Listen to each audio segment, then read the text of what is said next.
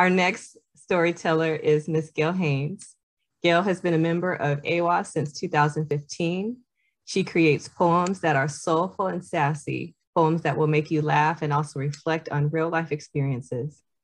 Among the sites where she has read are Mount Zion Baptist Church, Elliott Bay Book Company, Columbia and Ballard Library, and Life Enrichment Bookstore. Gail shares her poems at nonprofit organizations that stand against injustice. Many of her poems exalt the goodness of the Lord and his amazing power of love to transform lives. Soulful and sassy reflections and poems is the author's first book, Miss Gail's first book.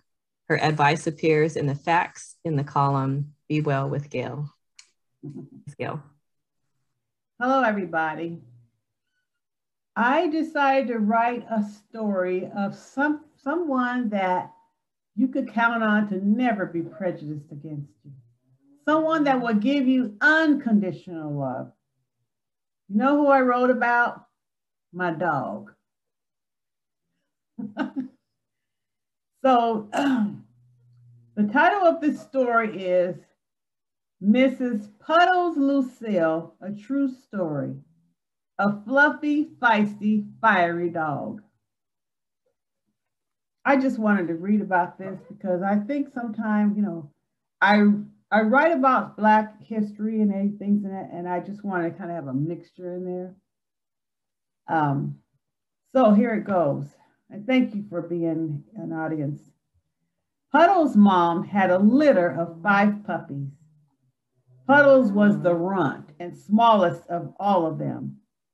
My Aunt Shirley Ann sold her to me for only $50 when she was six weeks old and literally six inches long. She slept in my daughter's K-Swiss shoebox. Remember those shoes? Uh, she had a face, face towel for her blanket. She had curly cream colored hair, big ears that stood straight up. She was a mixture between a toy poodle and a Cairn Terrier. Puddles was my dream come true. All my life, I wanted a dog since I was a child. But because my brother and I had asthma, my mother refused to allow it. Plus, she didn't like them anyway. She didn't like no dog. We had two parakeets, one named uh, Pookie and the other one Vicky, and loads of guppies. Puddles did some crazy things. She loved to lick walls. Some dogs will lick you in the face, but she loved to lick walls. I assumed they tasted good. She would drag her little tongue clear across the wall until she literally wore herself out. After that, she would drink loads of water. Every spring, the neighbor's tree dropped green figs in our yard. Puddles would eat one or two figs a week and always threw up all the time. I asked the neighbors to cut back the branches that hung in my yard. Um, maybe she was doing her own inner cleansing. I don't know. It's hard to know. In spite of her peculiar little ways, everyone in the neighborhood loved her. When we would go on walks, people would speak to her before they even acknowledged me, as if they if, as if she was able to talk back. However, because of her feisty personality, she never went up to people wagging her tail or allowed them to pet or even pick her up. People would say she was sometimey. She would literally have a hissy fit when we gave her a bath. She could not stand getting water in her eyes until I went to the dollar store and bought a pair of goggles that calmed her down. Now, I can't find that picture with her with her goggles on, but I have it somewhere. Even though she grew to eight pounds and 12 inches full grown, she was not a dog to be reckoned with. She was fearless and carried confidence as a little dog. One hot summer day, a huge raccoon wandered in the backyard looking to snack on some of Puddles' dog food and drink her water. Puddles went into high mania and began running and barking like crazy, chasing that raccoon around and around the yard until it jumped the fence, escaping her mighty power. I was sweating, thinking what could have happened if that raccoon decided to turn around and fight back. She just was proudly wagging her little tail as she ran over to the cabinet where we kept the dog biscuits waiting for her. And I gave her one because she sure was courageous. I was not able to, I wouldn't have been able to run out there between her and a raccoon. Thank God the raccoon decided not to fight her and, and use her as his snack. Another time, Puddles came in from the yard with a thick black string hanging out of her mouth. As my daughter Talea looked closer, she noticed it was a mouse tail. She had the mouse in her mouth and the string was hanging out. Talea busted ran and then Puddles dropped the mouse and began to run with her.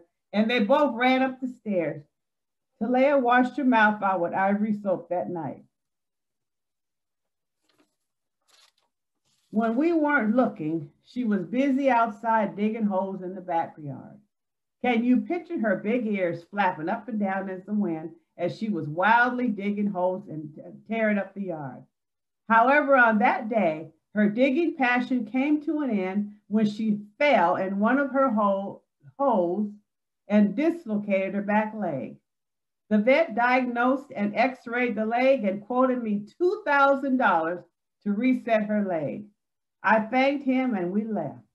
Puddles walking crooked on three legs, and me telling myself there's no way in the world I could have that kind of money to pay for no dog that I paid $50 for. I called other vets and they said the same price and even more.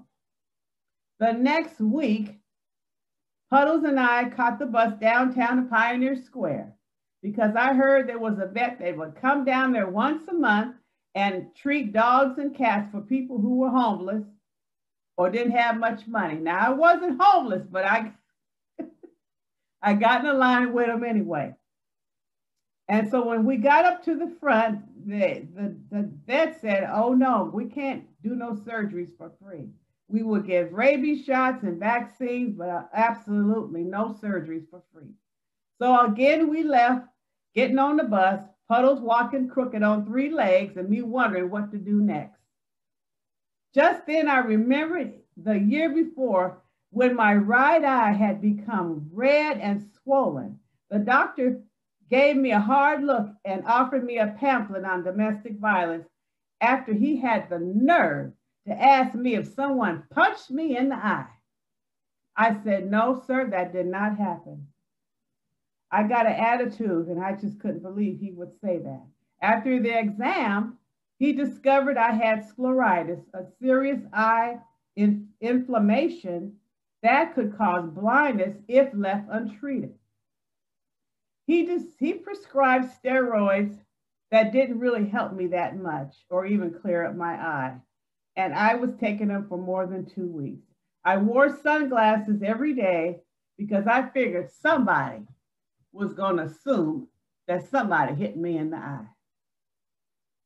Well, a friend of mine, she invited me to go to church for a healing service.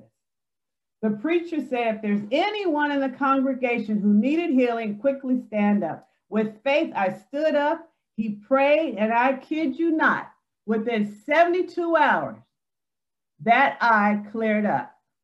It was blood red, it was swollen, and in 72 hours, all the pain left.